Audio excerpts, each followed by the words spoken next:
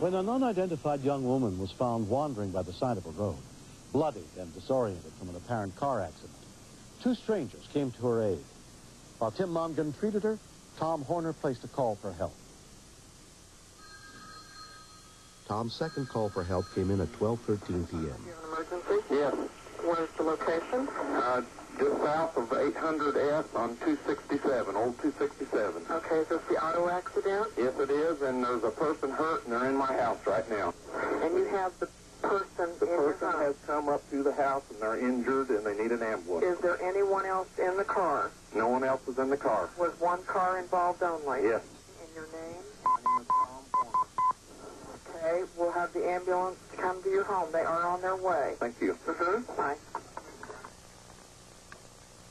Build engine one, ambulance one, squad one, and medic one. An auto accident.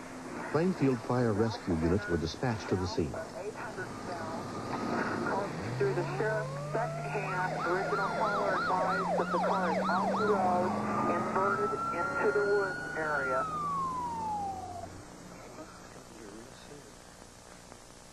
I ran out the front door, and so I would be out there to direct them to the house since it's not a real easy house to find.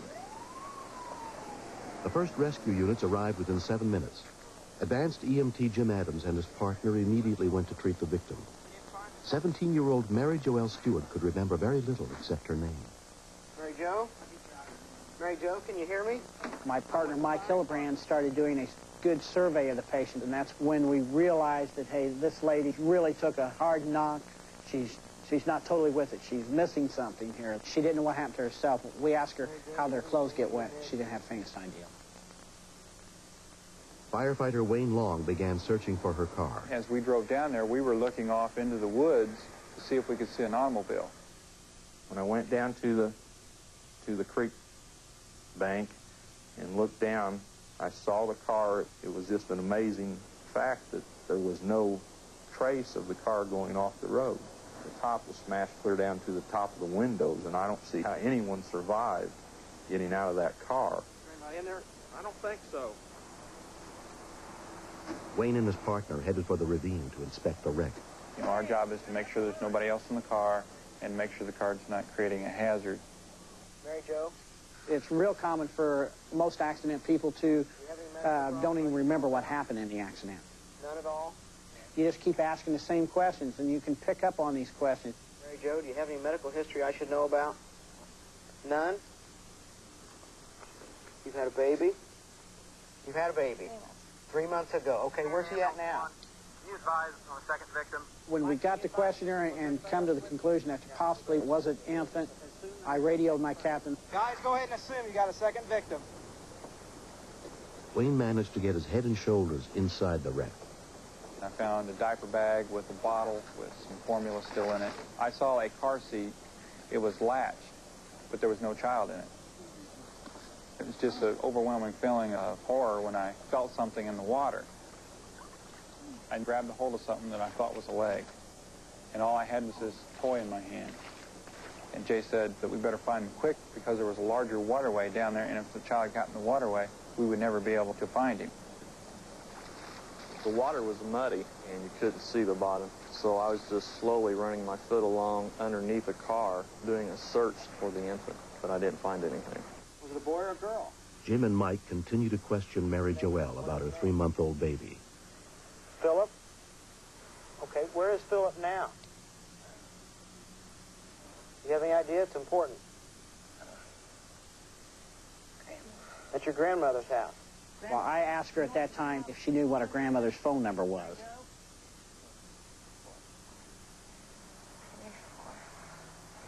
Mary Jo, that's not the right number. Can you give me another number? She gave me a phone number that was just totally off the wall. I asked her to repeat the phone number, and she just gave me the last four numbers of her grandmother's phone number. Is that 839 or 831? Yes, this Plainfield Fire Department. I asked her if she knew anybody by the name of Philip. Says, yes, Philip's her grandson. I said, is Philip with you? Says, no, Mary Jo picked him up a few minutes ago. I said, thank you, and hung up. I needed to get a hold of my captain and let him know that there was a second patient. Jay, it's confirmed. She had a three-month-old baby with her. Yes. Down there, is that a doll? Where? Down there. Is that the doll or the baby? That's the baby. Go. Come on, you guys. Come on down here. Jay and I both knew that we had to get to the child fast before it got washed into the larger stream. Because the water was moving so fast, you pick your leg up and then kind of want to sweep your leg out from under you. He was partially submerged. The skin looked waxy, and uh, he didn't have the normal flush tone that you would normally see in a child. I didn't really think he was real until I actually touched him.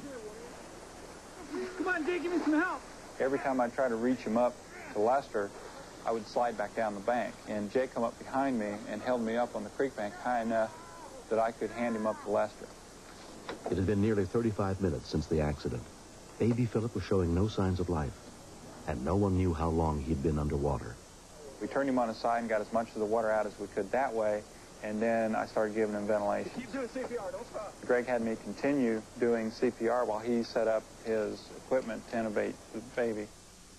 Doing CPR on an infant's like, like your worst nightmare. If you press too hard, you can cause them injury, or if you breathe too hard into their lungs, you can cause injury. Let me in here. Paramedic Greg Livingston intubated the baby while Wayne continued chest compressions. But there was still no pulse. Like I say, he'd been in there for at least 30 to 45 minutes. Um, I just thought this child really didn't have a chance. We moved the patient over to a backboard and proceeded to move him to the ambulance. You lead, Dan. You lead. Got one step there. Mary Joelle and her baby were transported to the nearest hospital in separate ambulances. Okay. Yeah, we can get our equipment. But Philip still was not breathing and had no heartbeat. I'm going to get the diaper off and I'm going to wipe it down. I put a lead on the baby, and Jade said, well, you, you pulled on his chest a little hard. And I said, I didn't pull on his chest very hard. That was the baby. And the more he tried to breathe, the better his pulse got. And I, I know I had a grin on his face, and I looked at Jay, and he had a grin on his face, too. At the hospital, Mary Joelle was treated for a severe head injury. Her little son was still in critical condition, under the care of nurse Lillian Cundiff. Lillian, what's the skin temperature? We can't get a record. We tried to get a temperature on the baby, and our thermometer wouldn't even register that low. I need to see if I've got a pulse. Philip, in fact, had a pulse. I did not feel like that his physical injuries were that serious, but my biggest concern was that he would be brain damaged because he'd been without oxygen for so long. Your baby, the doctor and the other nurses are with him. Mary Joelle had suffered a concussion and a fractured sternum. She was released after three days. Her baby was transferred to a pediatric intensive care unit under the supervision of Dr. Howard Egan. The parents were, were always kept informed of the fact that this was a, a very tenuous situation. It was really touch and go from the very beginning.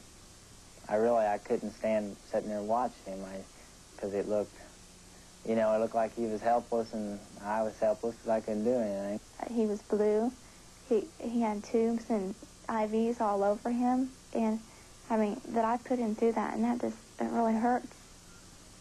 I think it was the first time I ever seen my grandmother cry, but I never thought or doubted that he would make it. The best part to me was the day he cried. Just the sound, just to have him make a sound. I could have listened to it. I wish I'd have had it on tape. Advanced EMT Wayne Long visited baby Philip in the hospital. I think the real hero out of this is Phil, because we just we just got things started. He's the one that had to go through everything. When I went in to see him, and all the nurses and everything said he's he's doing great, he's going to live. It's just like one of my own family members. The coldness of the water that day helped Philip survive without any brain damage. Within three weeks, he had made a complete recovery. The Stewarts are now even more careful that Philip is securely fastened to his car seat.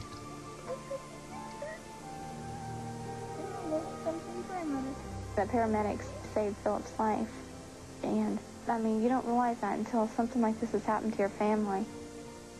That people out there really do care. At first I was worried, you know, I don't want him to be petrified of the water. And so, ever since I took him swimming the first time, I saw that he would like the water, and I think that maybe if I took him to a swim class, and if he learned young, then I think that would be best for him. the accident made me and my husband closer to realize that Philip was very special to us and he's brought a lot of happiness into our life and that child just can't be replaced.